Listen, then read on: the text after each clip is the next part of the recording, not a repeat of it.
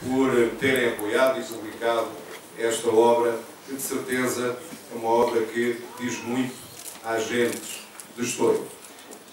É hoje um, um, um, grande prazer estar aqui neste dia da cidade. Um, não é apoiar, é marcar presença nesta uh, apresentação de, desta obra. Não sei se alguma vez tinha acontecido isto aqui na Casa do Povo, mas não queria deixar passar este evento sem uh, estar aqui e de alguma forma uh, marcar esta presença, porque, como todos nós ouvimos, não é uma obra qualquer. Não é que outras obras tenham menos importância, mas, por aquilo tudo que ouvimos, é uma obra que marca, de certeza, marca aqui um marco na história das gentes de Estoi, na história das gentes do, do Conselho de Faro. É não só um romance, aquilo que se quiser chamar, é de certeza absoluta uma marca da nossa história, da vivência das nossas comunidades. Neste dia em que celebramos o Dia da Cidade, o dia, celebramos as nossas raízes, a nossa identidade, a nossa, o orgulho da nossa gente, a riqueza das nossas comunidades, seja nas ilhas, seja na cidade, seja no campo, na campina ou no barrocal, faz todo o sentido estar aqui e eh, marcando eh, presença. Não, não vou falar eh, sobre o livro, muito mais do que aquilo que disse, é porque outros já o fizeram, mas deixava aqui uma nota relativamente a este ato. A nossa cultura, em particular, a nossa identidade, é algo que devemos preservar, é algo que devemos fomentar. E, e, e portanto, este ato é para mim de veras importante nesse sentido. Temos que ter orgulho na nossa identidade. Às vezes parece que temos vergonha em apresentar aquilo que somos, em participar nos nossos eventos. Geralmente os eventos dos nossos vizinhos são sempre melhores do que os nossos, quando não é verdade, basta ouvir os nossos vizinhos falar bem dos nossos eventos. E, portanto, acho que devemos celebrar o orgulho daquilo que somos, devemos eh, participar e devemos andar de cabeça erguida relativamente a isso. Relativamente a, a, ao livro, eh, queria deixar aqui duas notas, em particular, para realçar eh, duas coisas. Em primeiro lugar, o tipo de escrita, já foi feito, já, já se falou aqui muito sobre o conteúdo, mas eh, este livro cria ambientes, cria empatias, até ódios nos seus personagens, mas isso é, é, é normal, faz parte da nossa vida.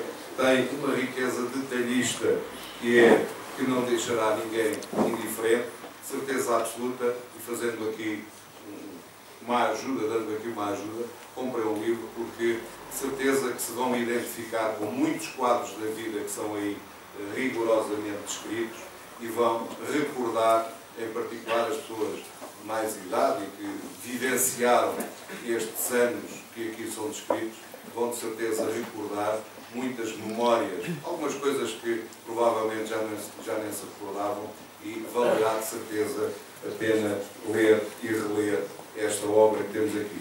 Depois, e para terminar, não vieram aqui de certeza para me ouvir, mas a vida é mesmo assim, uh, deixar aqui uma nota porque sei que uma pessoa que me foi muito querida, foi meu colega, tive o prazer de, de ser colega dele e aprender algumas coisas com ele, foi o professor Amílcar Quaresma, que sei que uh, ainda nos últimos anos de vida deu algum apoio neste livro, dando algum, fazendo algumas críticas e, e, e melhorando uh, as memórias que aqui são descritas. Uma pessoa que foi meu colega no, no Liceu João de Deus, que marcou muitos jovens deste Conselho e até de fora deste Conselho, que vinha na altura muita gente de fora estudar e, e foram alunos deste, deles, para além da sua obra eh, que ele deixou escrita, eh, a, a, sua obra humana é de certeza muito mais valiosa e não queria deixar passar este momento, me desculpo por isso, mas não queria deixar passar este momento para fazer também aqui esta homenagem ao Amilcar Quaresma, que todos aqueles que privaram com ele recordam com Sadar de certeza absoluta. Ao Luís, muito obrigado, muitos parabéns, que este seja um primeiro de muitos livros sobre, eh, sobre nós, sobre a nossa identidade, sobre o nosso povo. Muito obrigado.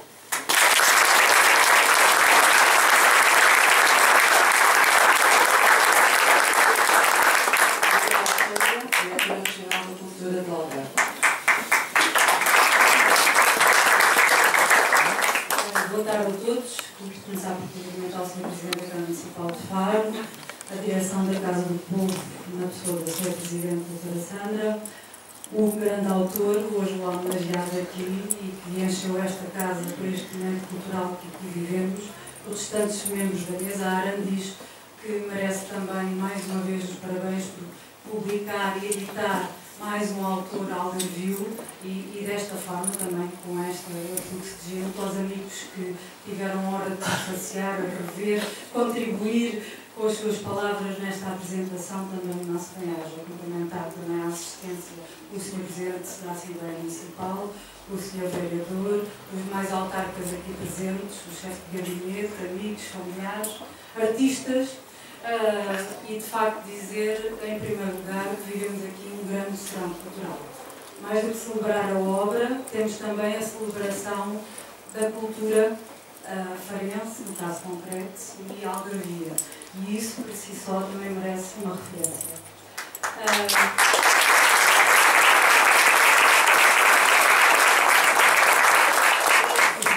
momentos de acordeão, de corredinho, de fado, de poesia, de música e, de parabéns. Uh, dizer mais qualquer coisa. Uh, sombra e sol. E eu lembrava-me aqui, depois da tempestade da bonança, desculpa lá que tem esse nome, mas é mesmo assim.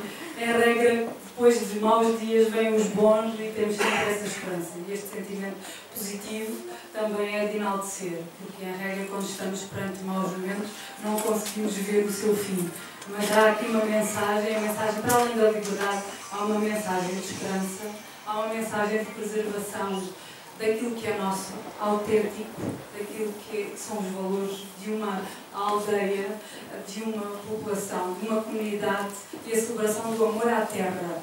E isso o autor deixou aqui bastante explícito através deste personagem. Muitas vezes nós não percebemos se é real ou ficção, Há aqui um grande amor à terra que está hoje a ser celebrado e por isso também felicito a Câmara Municipal de Faro por ter associado o lançamento desta obra ao Dia do Conselho, ah, porque de facto só quem tem um grande amor à terra pode escrever estas palavras. Eu tive um acesso a alguns certos do livro antes do dia de hoje, agora sim tive a oportunidade de manusear e de espelhar e, ter um contato mais próximo com os vários episódios uh, e os vários locais por onde vai passando. Mas percebi desde logo que percorre muitas memórias, as memórias quer do próprio autor, quer de outros autores que ajudam a contar esta história. Isso é fundamental, contar a história dos territórios, das comunidades. Passamos aqui por pintores, por poetas, por professores, por gente do povo que canta e que toca acordeão e que tem muitos factos históricos para nos uh, passar a mensagem e isso é fundamental que fique escrito e que seja transmitido às novas gerações. Uma das formas de o fazer é precisamente escrevendo e, portanto, perpetuam-se hoje aqui também as memórias desta população. E por isso, meus parabéns.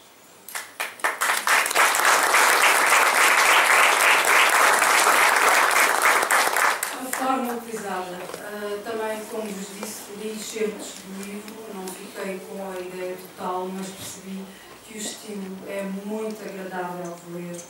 Leva-nos de uma forma muito leve a contactar com momentos históricos, de uma forma muito interessante, com uma descrição muito ligeira, lembrando as crónicas mas que de facto ajudam no processo de leitura, mesmo para aqueles que possam não gostar assim tanto ler, porque eu acho que é também um contributo à promoção da leitura.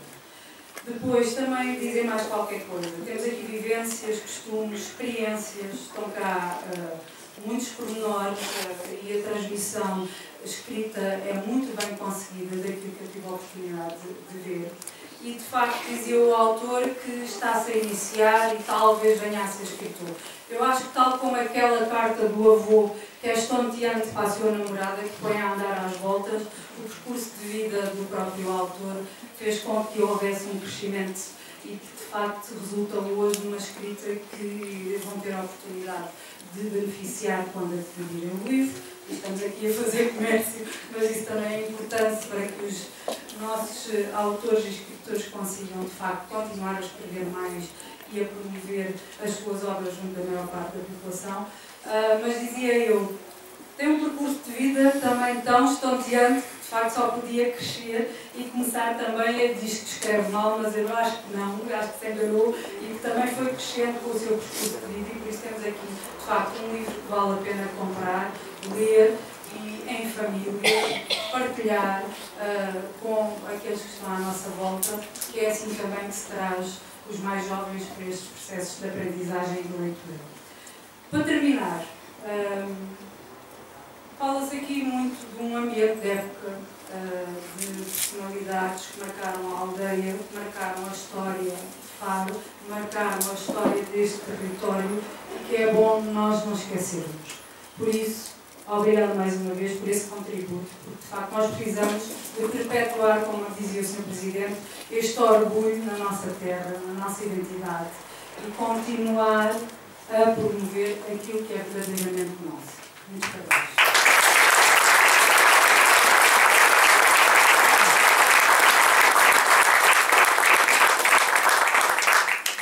Bom, uh, só para dizer uma coisa que ficou por dizer e agradecer também todas estas palavras. Uh,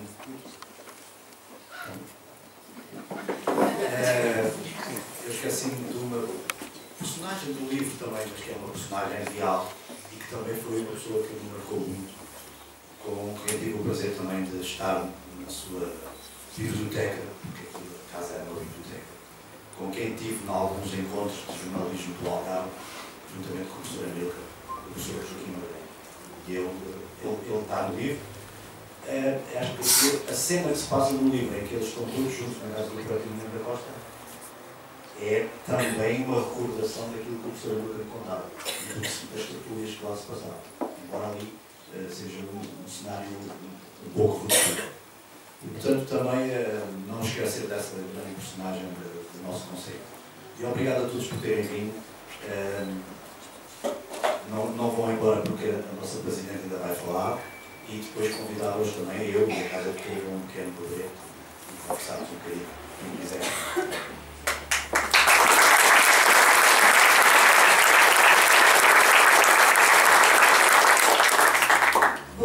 Depois desta tarde linda, original, que abrilhantou o dia da cidade de Faro, e acho que o Sr. Presidente da Câmara Municipal de Faro deve estar muito contente por Estou, Luís Barriga, Casa Povo, ter tido esta iniciativa e o Luís Barriga principalmente ter escolhido hoje este dia para apresentar o seu livro.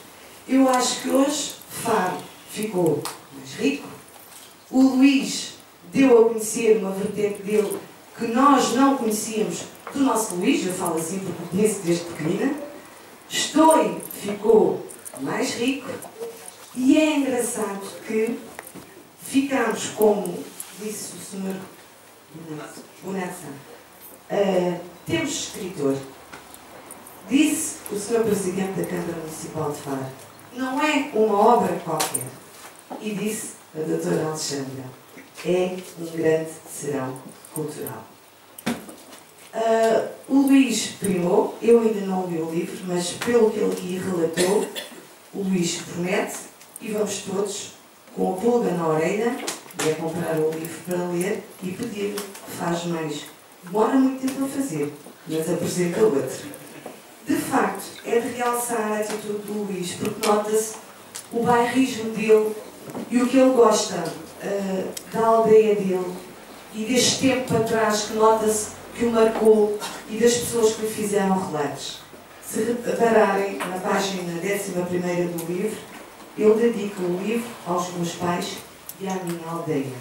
E pelo que ele disse aqui, pelo que se notou, há pessoas dentro da aldeia uh, que o marcaram bastante. e ele pediu para eu dizer aqui o professor Amilcar Quaresma, foi uma pessoa que nós fizemos aqui uma homenagem, e eu sei que marcou bastante o Luís, e que parte da história que está aqui foi relatos do professor Amilcar e ser a vivência que ele tinha com a professora Amilcar Quaresma. Uma grande salva de palmas também para o professor Amilcar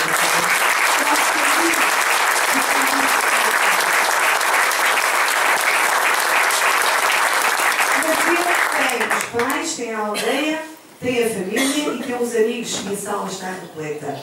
E eu queria, desde já, nome do Luís, agradecer a todos os presentes e a todos aqueles que fizeram com que esta tarde fosse linda e que o Luís apresentasse a sua vertente.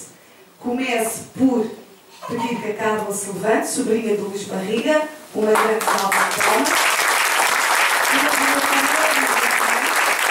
Wanda Barriga, sobrinha do Luís Barriga. Rui Pires, sobrinho do Luís Barriga. O Guilherme Barriga, o filho do Luís Barriga. Disse muito bem. A Melissa.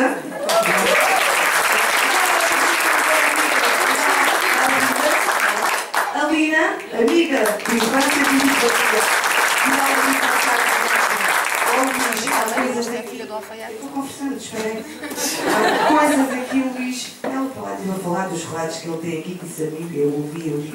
E por fim, eu, amiga do Luís, a Joaninha, sobrinha do Luís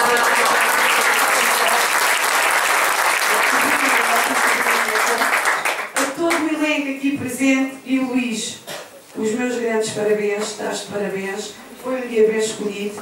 Levaram antes, mas a obra saiu. Eu vou dizer uma coisa, não. Para isto termina ou menina? Vamos ver. Ah, ele agora está aqui para falar com vocês e lá fora está um barbarito. Boa tarde a todos. Senhor Presidente, peço que estou da cidade. Luís